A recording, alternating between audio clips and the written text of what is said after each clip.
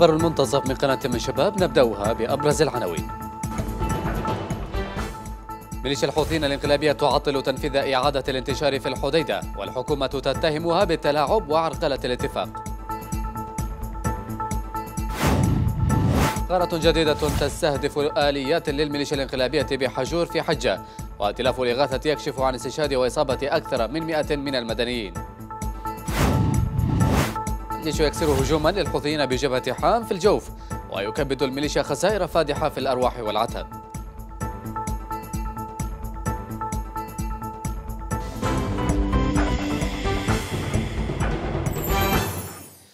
للتفاصيل حيث عطلت ميليشيا الحوثيين الانقلابية للمرة الثانية خلال أسبوع تنفيذ المرحلة الأولى من اتفاق إعادة الانتشار في الحديدة. وقال مصدر حكومي إن خلافات داخلية بين الحوثيين عرقلت تنفيذ إعادة الانتشار بعد أن كان مقررا أن تتم العملية أمس الأحد في حين حمل الفريق الحكومي في اللجنة المشتركة الحوثيين مسؤولية عدم تنفيذ الاتفاق.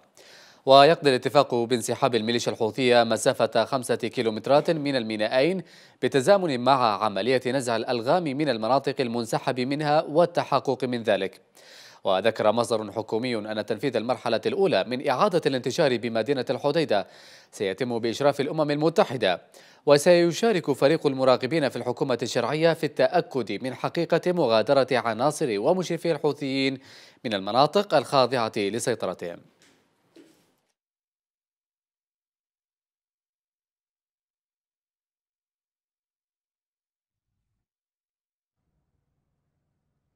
المزيد من التفاصيل حول تطورات الأحداث الأخيرة في الحديدة ورفض الحوثيين الانسحاب من مينائي رأس عيسى. والصليف ينضم معنا عبر الهاتف الصحفي سامي الأهدل إذا سامي آه، آه، الأخبار تقول بأن الحوثيين عرقلوا مسألة تنفيذ المرحلة الأولى من الانسحاب والتي تقضي من انسحابهم من مينائي رأس عيسى والصليف مسافة خمسة كيلومترات على الرغم من تحذيرات مجلس الأمن. هذه المرة لمعرقلي تنفيذ الاتفاق. ما الأسباب هذه المرة التي تعذر بها الحوثيون؟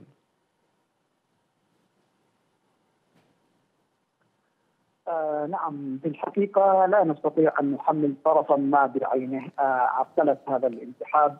آه لكن الذي حدث أن مايكل لوسجاد كبير المراقبين في الحديدة ورئيس لجنة التنسيق الأممية طلب من الطرفين عقد اجتماع بعد تنفيذ الخطوة الأولى من المرحلة الأولى.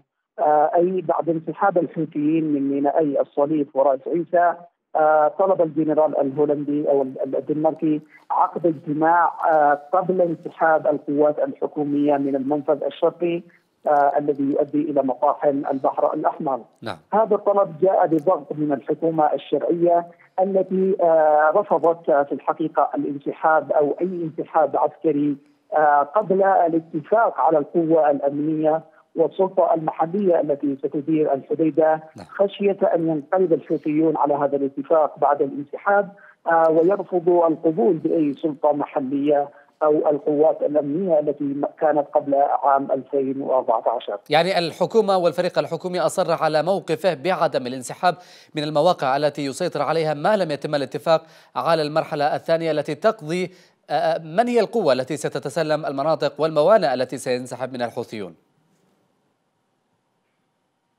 بالضبط. طيب الآن فيما يتعلق بردة فعل الأمم المتحدة وأيضا رئيس المراقبين الدوليين مايكل لوليسغاد ما الذي ستتخذه؟ الأمم المتحدة الآن جراء عدم تنفيذ هذا الاتفاق من المرحلة الأولى. آه حتى نكون واضحين آه دور الأمم المتحدة في مسألة اتفاق الحديدة دور آه ربما كان هو آه سبب في هذا التعقيد أيضا. الأمم المتحدة طرحت البنود بشكل غامض ولم تشير بشكل واضح إلى القوة القوة الأمنية والسلطة المحلية التي ستدير الحديدة. ما جعل هذا الاتفاق يواجه كل هذه التعقيدات وكل هذه الصعوبات آه وزاد من الفجوة فجوة الثقة بين الطرفين بين القوه الحكومية وبين الحوثيين. آه في الحقيقة الحكومة الشرعية لا تثق نهائيا آه, آه،, آه، بالتزامات الحوثيين. ويخشون ان أن يستغل الحوثيون انسحاب القوات الحكومية لتنفيذ آه، عملية ما آه، ويرفضون بعد ذلك تسليم المدينة والموانئ لسلطة محلية محايدة يتفق عليها الطرفان. الأمم المتحدة في الحقيقة لم تستطيع تقديم أي شيء آه، نحو هذا الاتفاق أو الحل هي في الحقيقة حتى الآن تزيد المسألة تعقيدا فقط. لكن على الرغم من ذلك كان الاتفاق أن يتم يوم الأحد أي بالأمس تنفيذ المرحلة الأولى من الانسحاب وذلك أعطى إشارة بأن الفريق الحكومي أيضا وافق لكنه حاليا بعد أن تم أو تم عرقلة هذا الاتفاق يتهم الحوثيين بالتسبب بعرقلته ما هي وجهة نظر الحكومة في هذا الاتهام؟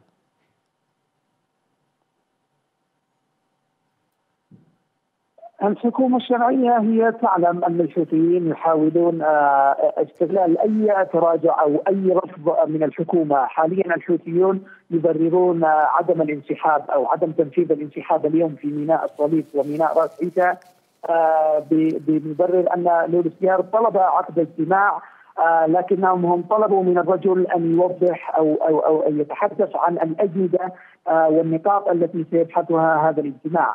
آه لكن يبدو أن الفريق الأممي آه رضخ للضغوط الحكومية وقبل بمسألة عقد الاجتماع وطلب من الحوثيين ذلك لكن الحوثيين رفضوا هذه النقطة أي رفضوا مناقشه بحث أي نقطة آه في هذا الاجتماع قبل انسحاب القوات الحكومية آه من المنفذ الشرقي إذن... آه في الحقيقة الوضع معقد في الحديدة، اتفاق الحديدة الآن يواجه نعم. تحديات، العمليات العسكرية تتصاعد مع كل تعثر آه للعملية السياسية في الحديدة. نعم. آه تشتعل المعارك، اليوم اشتعلت المعارك بشكل كبير في مديرية الحيثه وفي مديرية حيث، الحوثيون هاجموا مواقع القوات الحكومية هناك. آه أيضا المدينة آه اليوم آه لم تكن هادئة كما شهدت خلال اليومين الماضية. كان هناك الكثير من الخروقات العسكرية في منطقة كيلو 16 آه، في ظل استعدادات الموظفين أو الموظفين المدنيين في الحديدة الذين سيبدأون عملية تسلم رواتبهم اليوم بحسب الاتفاق نعم. آه الذي نص على أن تسلم الحكومة الشرعية رواتب كاملة الموظفين في الحديده. إذا بالتزامن أيضا مع الحديث عن العملية السياسية فيما يتعلق باتفاق السويد، جرت هناك عمليات عسكرية وأنت ذكرت أيضا العمليات العسكرية التي جرت جنوب محافظة الحديدة، كانت هناك أيضا قذائف هاون آه، سقطت على القوات الحكومية المشارف الواقعة أو المتمركزة على مشارف مدينة الصالح، اذا هذه التطورات العسكرية وفشل تنفيذ المرحلة الأولى من الاتفاق، هل له عواقب على المعرقلين لهذا الاتفاق؟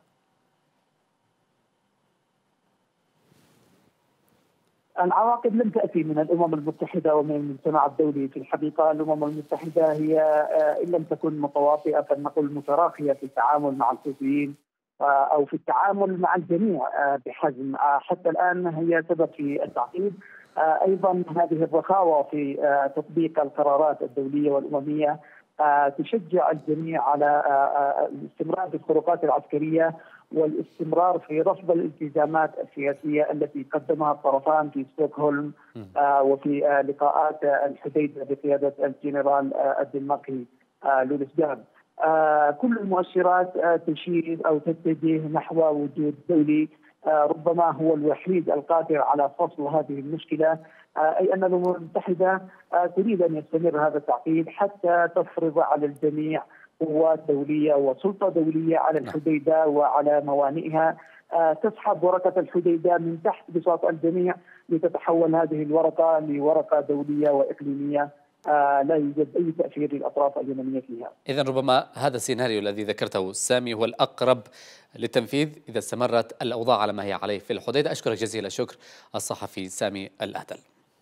ما زلنا في الحديدة أيضا حيث كثفت ميليشيا الحوثيين من قصفها على مواقع الجيش الوطني في المدينة والريف الجنوبي للمحافظة تزامنا مع إعلان انسحابها من مينائي الصليف ورأس عيسى وقال مصدر عسكري إن مواقع الجيش في شرق الحديدة وتحديدا على مشارف مدينة الصالح تعرضت لقصف بقذائف الهاون بشكل كثيف. وسبق هذا أن قصفت ميليشيا الحوثيين مواقع الجيش شرق مدينة الحديدة وفي منطقة كيلو 16 وشرق الدريهمي. وقالت ألوية العمالقة في بيان إن هذا التصعيد يعد إشارة واضحة وصريحة تعبر عن إرادة ونوايا الميليشيا الحوثية الهادفة للالتفاف على مضمون اتفاق إعادة الانتشار التي يشرف عليها الجنرال الدنماركي لولسكارت ننتقل الآن إلى صعدة حيث قتل وجرح العشرات من عناصر ميليشيا الحوثيين في قصف لطيران التحالف العربي استهدف منصة لإطلاق الصواريخ ومعسكرا تدريبيا تابعا للإنقلابيين في منطقة الغول القريبة من مركز مديرية كتاف شمال شرق المحافظة. يأتي هذا بعد أن فرضت وحدات من الجيش سيطرتها على سلسلة جبال عنبان وجبل الحنكة وعدد من القرى المجاورة والقريبة من مركز مديرية كتاف. وأسفرت المعارك عن مقتل عشرين وجرح آخرين من مسلحي الحوثيين فيما لاذ الباقون بالفرار تاركين مواقعهم وأسلحتهم وعتادهم وجثث قتلاهم مرمية على الجبال والوديان. أما في الضالع فقد قتل وأصيب أحد عشر من عناصر ميليشيا الحوثيين الإنقلابية بقصف مدفعي لقوات الجيش الوطني في جبهة الحشا الحشا غرب المحافظة وقال مصدر عسكري إن الجيش استهدف بقصف مدفعي في ساعات متأخرة من مساء الأحد تعزيزات تابعة للميليشيا في أطراف منطقة طاحون الواقعة جنوب غرب مديرية الحشا وأسفر القصف وفقا للمصدر عن مصرع سبعة من عناصر الميليشيا وجرح أربعة آخرين وتدمير عربة قتالية ذات دفع رباعي. خلف هجوم مدفعي للجيش عشرات القتلى والجرحى في صفوف ميليشيا الحوثيين بجبهة نام شرق صنعاء. وقال مصدر ميداني إن الجيش شن قصفا مدفعيا استهدف تجمعات وتعزيزات للميليشيا في منطقة قرن, قرن أذياب في منطقة حريب. وأكدت أو وذكر المصدر أن قتلى وجرحى من الميليشيا سقطوا في القصف وتم تدمير عدد من الآليات التابعة لها. وكانت قوة الجيش الوطني قد أحبطت السبت محاولة تسلل للميليشيا في منطقة حريب نهم عقب معارك تكبد فيها المتمردون قتلى وجرحى في صفوفهم. أما في الجوف فقد شن الجيش الوطني هجوما مدفعيا وصاروخيا. استهدف تجمعات لميليشيا الحوثيين في مواقع الغدير بجبهة حام في المحافظة. وقالت مصادر ميدانية لقناة يمن شباب إن الهجوم أحبط محاولة أو محاولة هجوم كانت تستعد الميليشيا لشنه على مواقع الجيش في الجبهة. وبحسب المصادر فإن هجمات مماثلة للميليشيا تمكن الجيش من إفشالها خلال الفترات الماضية. وكانت قد دارت بالأمس معارك عنيفة في جبهة العقبة تكبدت فيها الميليشيا الحوثية خسائر فادحة في الأرواح والعتاد.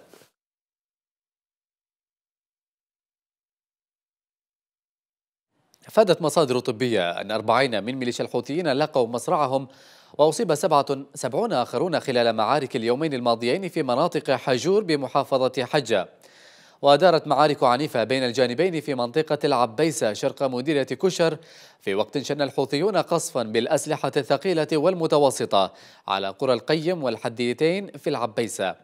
وشنت ميليشيا الحوثيين المتمركزة في قلعة بني موسى قصفا آخر استهدف منازل السكان في قرية السودة في بني شهر شمال غرب كشر.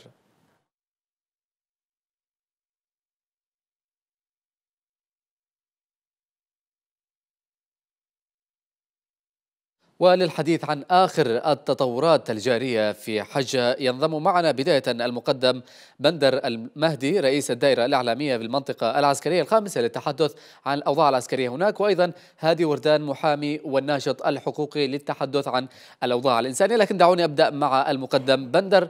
إذا سيد بندر كيف هو الوضع العسكري حاليا في حجور في ظل استمرار المعارك الدائرة هناك؟ آه، تحية لك تحية للسادة المشاهدين. ما يجري في حجور خلال الأسابيع الماضية الميليشيات حشدت حشود كبيرة وهناك تقديرات موجودة لدينا تم الحصول عليها مؤخرا. آه، الميليشيات حشدت أكثر من 4000 مقاتل و 200 طقم و10 دبابات و20 عربة مدرعة وخمسة مدافع هاوزر وعدد من الهاونات وعشرات المعدلات والرشاشات. آه، الميليشيات أرادتها حسما ويعني حسم نهائي مع قبائل حجور التي خلت معها يعني حروب سابقة وأرادت لهذه الحرب أن تكون هي آه، الحرب يعني النهائية إن صح التعبير آه، غير أن كل هذه الحشودات آه، بلغت ذروتها يوم أمس حيث يعني استمر الهجوم من جميع المحاور لأكثر من عشر ساعات استخدمت الميليشيات فيها كل الوسائل إلا أنها باءت بالفشل. أما عن الوضع الميداني اليوم أيضا الميليشيات آه، آه، بعد هجوم أمس كان هناك آه، هدوء حذر منذ الصباح اندلعت مشاب... اشتباكات يعني جديدة وتجدد القصف على قرى في العبيسة وطبعا بالسلاح الثقيل وذلك تماما الساعة الواحدة من بعد ظهر اليوم نعم.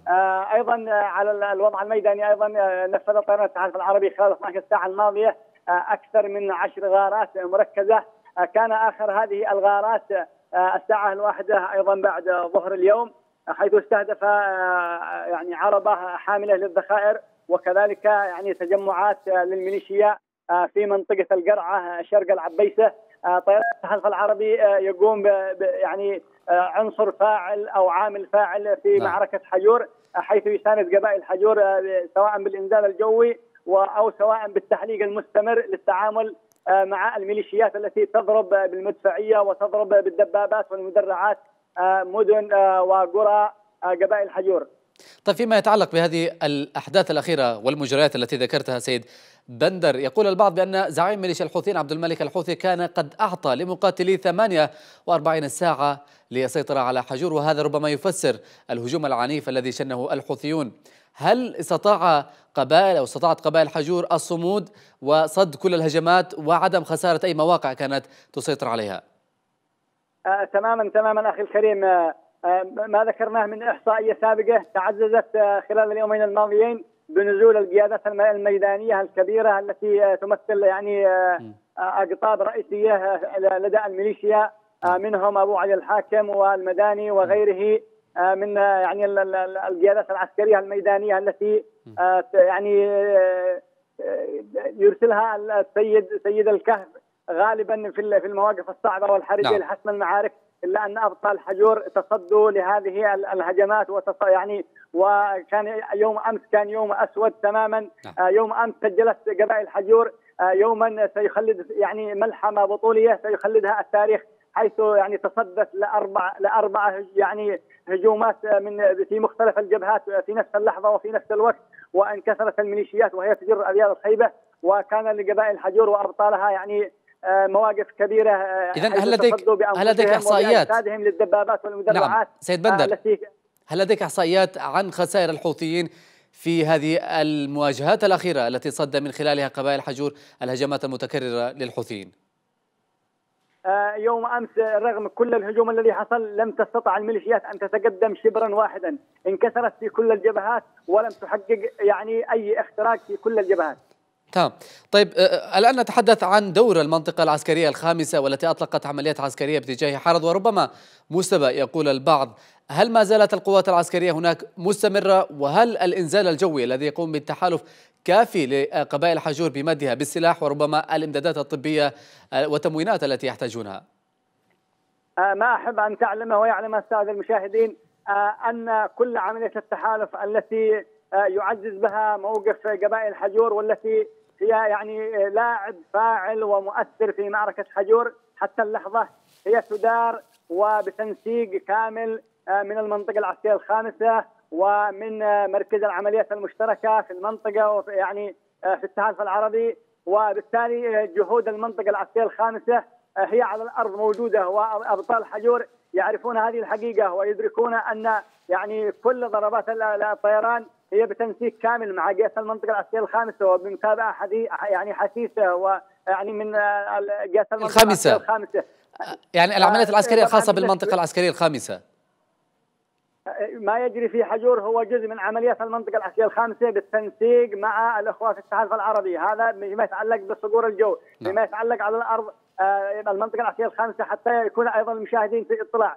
لن يعني لم تقف متفرجة هي تخوض عمليات قتاليه مستمرة ويعني بمختلف الأسلحة وعلى مختلف المواقع ويعني العمل يعني كثير من بكل أسف يعني التعليق كثير عن المنطقة العسكريه الخامسة بأنها لم تتقدم هناك تقدمات موجودة لكنها حرب وذكرت يعني في مداخلة نعم. سابقة معكم يعني الجيش يقف على مشارف صنعاء إلا أن طبيعة الحرب يعني لا يقاس بالساعات حتى البعض يظن أن نعم. يعني أبطال المنطقة العسكريه الخامسة هم يعني صدورهم قبل صدور أبناء حجور ومعركتنا واحدة. يعني آه إلا إن طبيعة الحرب نعم. تفرض علينا أن يكون الوضع. الزمن عامل فاصل. نعم الوضع الحقيقي ليس كما يظنه البعض وهم بعيدون عن الميدان لكن الواقع في الميدان مختلف تماما كما شرحت الآن. اذا أشكرك جزيل شكر المقدم بندر المهدي رئيس دائرة الإعلامية بالمنطقة العسكرية الخامسة. وأعود إلى سيد هادي ليحدثنا عن الوضع الإنساني في حجور. سيد هادي أريد أن أسألك عن الوضع الذي يعيشه السكان حاليا في حجور. نعم. الوضع الإنساني في آه، منطقة حجور وخصوصا مديرية كشر وضع إنساني معقد وضع إنساني في غاية ال ال ال ال ال يعني آه، ما يمكن أن يوصف حالة إنسانية مأساوية. هناك حصار مطلق هناك يعني نزوح من في في قرى الذي يتم استهدافها من قبل الحوثيين. هناك كف مستمر هناك صواريخ مختلفة هناك كواديش هناك هاونات تضرب بشكل على مدار يعني ال ال ال ال ال ال الوقت. الحوثيين يمارسون على هذه المنطقة أشد, أشد أنواع القصف والاعتداء بصواريخهم الانتهاكات تحصل في في مناطق حجور بما يسابق يعني تسابق عقارب الساعة. لم تتوقف هذه الاعتداءات على مناطق مديرية كشر منذ بدء الاعتداء وخصوصا في في اليومين الأخيرين. نعم. هناك حصار مطبق هناك اعتداء على البيوت وعلى المنازل هناك منع حتى لخروج النازحين. هناك تقارير أيضا تقول آه يعني أن 100 مدني قتلوا في جراء القصف الذي يشنه الحوثيون على هذه المديرية وهناك حركة نزوح واسعة. هل يمكن أن توضح لنا الصورة الإنسانية حاليا في حجور فيما يخص النزوح وأوضاع السكان؟ طبعا النزوح هو بحثا عن الحياة فقط، النزوح ينزحون من المكان من نزوح إلى نزوح آخر، لا لا يسمح لهم بالخروج إلى منطقة آمنة خارج حجور. هم لا زالوا الآن في في في حجور. ينزحون من منطقة يتم قصفها وينتقلون إلى منطقة أخرى أخرى. يأتيهم القصف ويعودوا إلى تلك المنطقة بحثا عن الحياة. الوضع في كشر وضع يعني استثنائي وضع مختلف انسانيا وضع يعني آه، كارثه إن لم تتدخل المنظمات الاغاثيه وهي الصليب اذا وضع مروع الذي نعم وضع مروع يعيشه السكان هل هناك مروع ووضع لا, لا, لا يوصف هل هناك اذا وقد تحدثت عن المنظمات الدولية هل هناك منظمات محلية حتى أو دولية دخلت لمساعدة المواطنين وتزويدهم بالغذاء واللوازم التي يحتاجونها؟ المنظمات المحلية والمنظمات الاغاثيه التابعه للأمم المتحدة ومركز الإغذاء العالمي التابع للأمم المتحدة متواجد في الميدان في محافظة حجة لكنه لا لا لم يبدي اي أي تحرك لكنه لا يحرك ساكنا بالدخول إلى هذه المناطق الإمكانيات التي يمتلكها للدخول من خلال الضغط على ميليشيا الحوثي لتوفير ممر آمن لدخول المواد الغذائية وإخراج المدنيين من النساء والأطفال لكنهم للأسف الشديد واقفين بموقف يعني لا يشرف الأمم المتحدة كأعلى مؤسسة إنسانية ينظر إليها الجميع. نعم. باعتبارها هي الراعية والملاذ للناس لكن تقف موقف يعني غير مشرف ولا تعمل إلا وفق المعيار طيب الان الان الآن وميليشيا الحوثيين ما زالت تحاصر آه، حجور آه، لأشهر وتمنع عنهم دخول المواد الغذائية وما إلى ذلك وأيضا حتى صاهرج المياه منعتها من دخول مناطق حجور. كيف هو الوضع بالنسبة للمستلزمات الغذائية والمياه التي يحتاجها السكان حالياً؟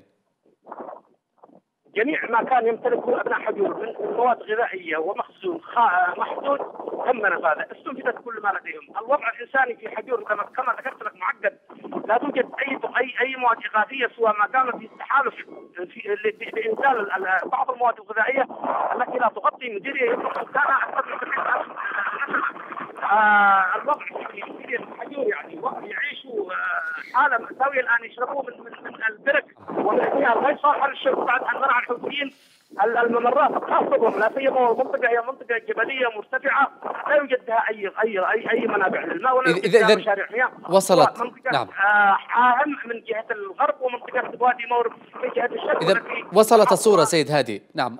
وصلت الصورة سيد هادي وردان المحامي والناشط الحقوقي. أشكرك على كل هذه المعلومات والتفاصيل التي أوردتها في مداخلتك.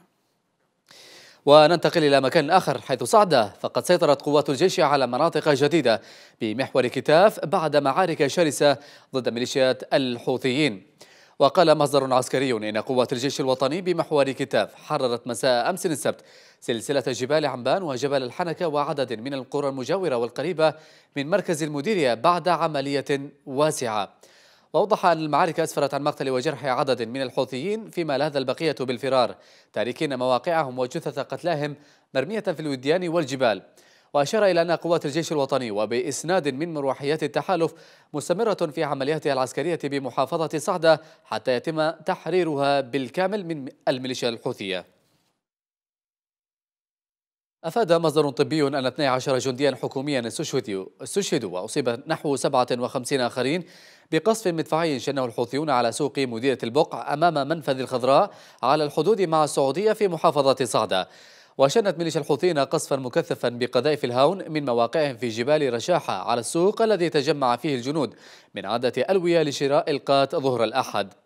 وذكر المصدر أن من بين الجرحى ضباط في الجيش ومدنيين اثنين ومدنيين اثنين وطبيبا ثالثا تم إسعافهم إلى مستشفى الشرف في المديرية ومستشفى الملك خالد داخل الأراضي السعودية. هذا وقالت وكالة سبا إن العشرات من المدنيين استشهدوا وأصيبوا في قصف شنه ميليشيا الحوثيين الانقلابية على سوق البقع في محافظة الصعدة وأجرى نائب رئيس الفريق الركن علي محسن صالح اتصالا هاتفيا بقائد محور صعدة العميد عبيد الأثلة للوقوف على نتائج الهجوم. وبحسب سبا فإن القصف خلف ضحايا من مرتدي السوق وبائعي نبتة القات وقال الفريق محسن إن الحادثة تعزز من الصورة الإرهابية والدموية لميليشيا الحوثيين التي لا تتورع عن قتل وسفك دماء اليمنيين بشكل يومي وارتكاب مختلف الانتهاكات بحقهم. وأكد نائب الرئيس أن عزيمة اليمنيين قادرة على ردع هذا السلوك الإجرامي. استشهد وأصيب مدنيان شقيقان جراء انفجار لغم زرعته ميليشيا الحوثيين في مديرية ولد ربيع بمحافظة البيضاء. وقالت مصادر محلية إن مدنيا يدعى أحمد عبد الله أحمد الشاهري. استشهد وأصيب شقيقه حسين بجروح مختلفة في انفجار لغم زرعته الميليشيا الحوثية في الطريق بمنطقة عبل الشواهرة في قيفة مديرية ولد ربيع وأودت الألغام الحوثية بحياة عشرات المدنيين بينهم أطفال ونساء في المناطق التي تم دحرهم منها في البيضاء. شيع اليوم في محافظة مأرب كوكبة من شهداء الجيش الوطني. بينهم الشهيد العميد أحمد أبو هادي ركن عمليات اللواء أول قوات خاصة عمليات محور حرض الذي استشهد في جبهة حرض. بعد حياة حافلة بالكفاح والنضال ضد ميليشيات التمرد والانقلاب الحوثية أرتقى العميد أحمد أبو هادي شهيدا ليلتحق برفيق دربه الشهيد عبد الرب الشدادي. الذي سطر معه أروع الملاحم البطولية ابتداء من مطايح نخلاء ومعركة دحر الميليشيات من أطراف مدينة مارب مرورا بالجفينة والصرواح والمخدرة. نسأل الله أن يتقبل الشهداء ويغفر لهم. ومن أجل الوطن حتى نستعيد بلادنا ووطننا من من المغتصبين الانقلابيين. الرافضة رافضة إيران سنقدم الشهادة تلو الشهداء نحن وأولادنا وأحفادنا. اليمن عصية. اليمن لا يمكن أن نتنازل عن تاريخها ولا نتنازل عن أرضنا ولا نتنازل عن أرضنا. سنقدم الشهداء تلو الشهداء من الأب إلى الولد إلى الحفيد حتى يعاد اليمن لأهل الحقيقيين. والعقيد أحمد أبو هادي هو ثالث أخوته. والثالث عشر في أقاربه بني عمه ونحن سعداء بما قدمناه وسنقدم منذ الوهلة الأولى أختار الشهيد أبو هادي الانحياز للوطن والوقوف في مواجهة مشروع التمرد والانقلاب. فعرفته جبال وسهول اليمن رجلا مناضلا لا يرضى بالخنوع أو الذل. ابتداء من الحروب الست. مرورا بعمران وحجور وصنعاء ثم التحق بركب المقاومة في مأرب منذ بداية تأسيسها. وشارك في معارك ميدي ليلقى ربه شهيدا في جبهة حرب من أجل أن يحيا أبناء الوطن بحرية وكرامة. طبعا إحنا اليوم لا نقول آه، نودع الشهداء بل نقول هم أحياء. أحياء آه، معنا آه، بالهدف الذي استشهدوا من أجله. وهو من أجل الدين والوطن والأرض واليمن. الشهداء اليوم هم استشهدوا من أجل تحرير أبناء اليمن كامل آه، يدافعوا عن أرض اليمن كامل. وليست منطقة معينة وليس من أجل حزب أو مذهب أو من أجل طائفة أو سلالة. هم استشهدوا لأن هدفهم هو تحرير الوطن استرداد اليمن إعادة مؤسسات الدولة. رحل العميد أبو هادي بعد أن أذاق الحوثيين الويلات في كل جبهات القتال. كيف لا؟ وهو من قبيلة حجور البطولة والفداء التي ظلت عصية على المشروع الإمامي. وها هي اليوم تسجل وتضرب أروع الأمثلة لشموخ أبناء حمير وقحطان الضاربة جذورهم في أعماق التاريخ. رشاد النواري يمن شباب مأرب. إلى موضوع آخر الآن حيث شدد الرئيس عبد رب منصور هادي على أن أي حل شامل للوضع في اليمن لا يمكن أن يكون ناجحا دون العودة إلى جوهر المشكلة وأسبابها الحقيقية وليس الوقوف على النتائج. وقال الرئيس هادي في كلمة ألقاها خلال القمة العربية الأوروبية المنعقدة في القاهرة. إن الحكومة اليمنية لا تقبل خيار الفشل لأنه سيقود إلى مزيد من المعاناة. داعيا إلى المراقبة الدولية لمدى التزام الميليشيا الحوثية لتحقيق السلام الذي طال انتظاره. وطالب هذه القمة العربية بالوقوف بحزم أمام التدخلات والأطماع الإيرانية السافرة في اليمن متهما إيران بتوجيه الحوثيين للانقلاب على الدولة ودعمها بالمال والسلاح وسعيها لإطالة أمد الحرب وعرقلة جهود السلام واستخدام الأراضي اليمنية منصة لإطلاق الصواريخ الإيرانية الصنع التي لا تستهدف أو التي تستهدف السعودية. وأكد الرئيس هادي أن التطورات والظروف الراهنة في اليمن تستدعي استمرار وتكثيف التعاون الأوروبي العربي دعما لليمن واليمنيين من أجل استعادة الدولة وإنهاء الانقلاب وتمكين الحكومة اليمنية من القيام بوظائفها الدستورية والضغط على الميليشيا الحوثية الإيرانية للاحتكام للقرارات الدولية من خلال نزع سلاحها والعودة للعملية السياسية على أساس المرجعيات. وفي هذا السياق شدد العاهل السعودي الملك سلمان بن عبد العزيز على تكاتف الجهود الدولية من أجل دعم الشرعية اليمنية وإجبار الميليشيا الحوثية على الانصياع لإرادة المجتمع الدولي. وأكد الملك سلمان على الحل السياسي للأزمة اليمنية على أساس المرجعيات الثلاث مشيرا إلى أن بلاده بذلت جهودا جبارة في سبيل إنجاح مشاورات السويد داعيا إلى متابعة تنفيذ ما تم الاتفاق عليه في تلك المشاورات بكل دقة. وحمل العاهل السعودي ميليشيا الحوثيين المسؤولية عن الوضع القائم في اليمن مشيرا إلى أنشطتها المزعزعة لأمن وسلامة الملاحة البحرية في منطقة باب المندب والبحر الأحمر والتي تشكل تهديدا مباشرا وخطيرا للأمن العالمي. قال وزير الإعلام في الحكومة الشرعية معمر الإرياني إن فريق الرقابة التابع للأمم المتحدة وبرنامج الغذاء العالمي يرفضون التعاطي مع مقترح الفريق الحكومي في لجنة تنسيق إعادة الانتشار في مدينة الحديدة بإخراج كميات القمح المخزنة في صوامع مطاحن البحر الأحمر والمساعدات الإنسانية عبر الممرات الآمنة الواقعة ضمن سيطرة الجيش من المطاحن جنوبا حتى مديرة الخوخة.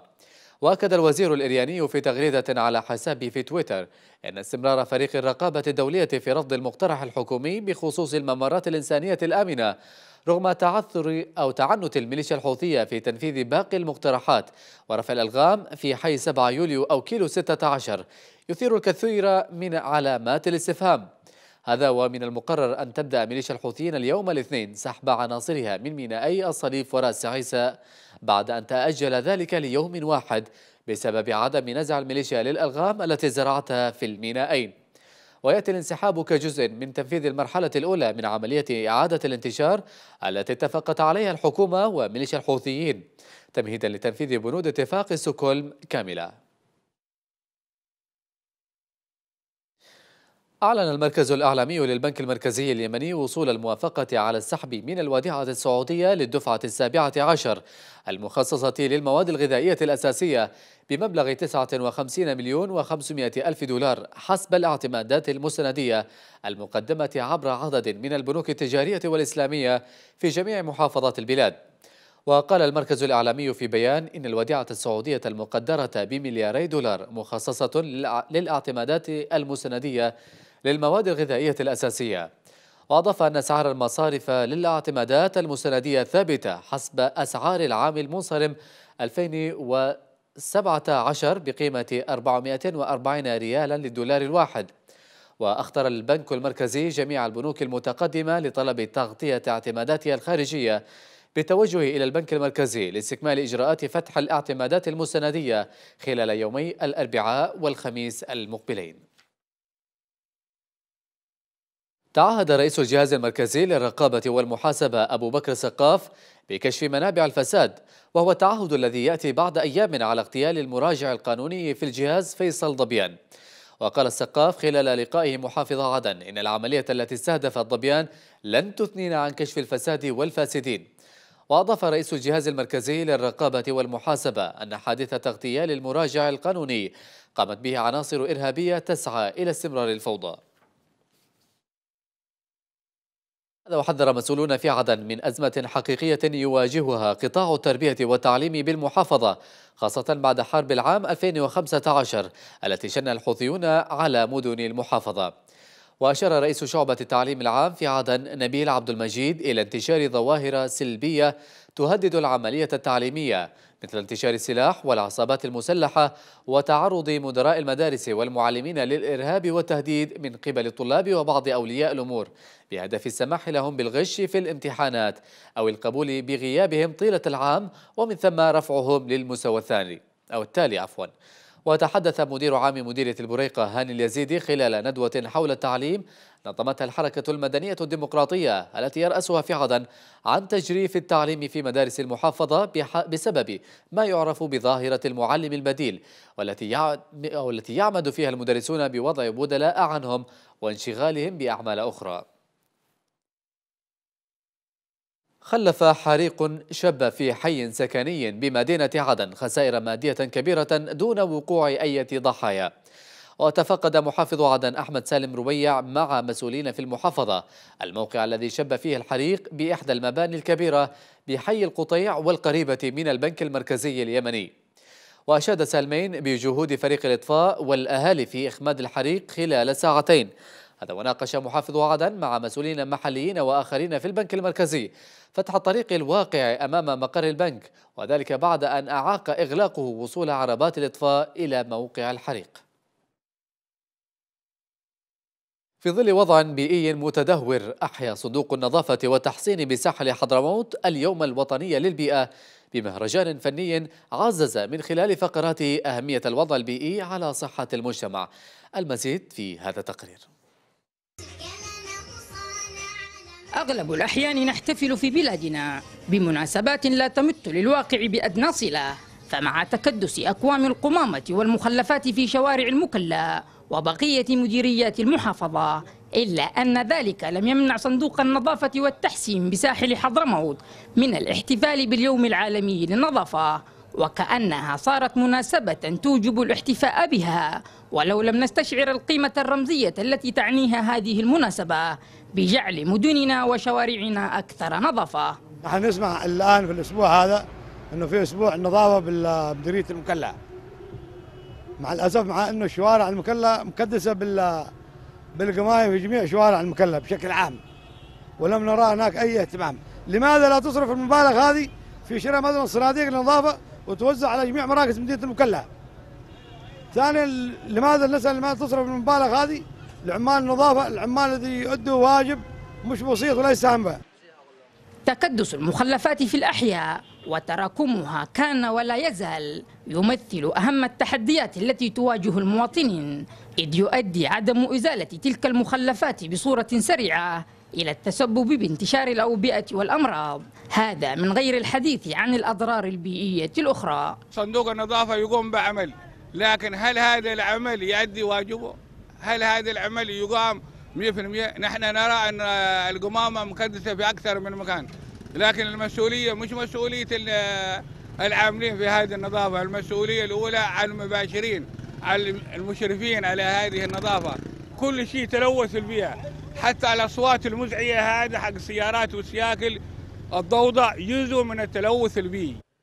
الاحتفال بيوم النظافة العالمي. يأتي وشوارع المكلا لا تسر الناظرين بالذات إذا كانت محافظة حضرموت تشكل المنزل الآمن للهاربين من الحرب وآثارها وهو ما يحتم على الجهات المختصة استقبالهم بشوارع نظيفة بدلا عن الاحتفال بيوم لا نؤدي الغرض منه. معتز النقيب لقناة يمن شباب المكلا. في نهاية النشرة إليكم التذكير بأبرز ما جاء فيها. ميليشيا الحوثيين الانقلابية تعطل تنفيذ إعادة الانتشار في الحديدة والحكومة تتهمها بالتلاعب وعرقلة الاتفاق. غارة جديدة تستهدف آليات للميليشيا الانقلابية بحجور في حجة وائتلاف الإغاثة يكشف عن استشهاد وإصابة أكثر من 100 من المدنيين. والجيش يكسر هجوما للحوثيين بجبهة حام في الجوف ويكبد الميليشيا خسائر فادحة في الأرواح والعتاد.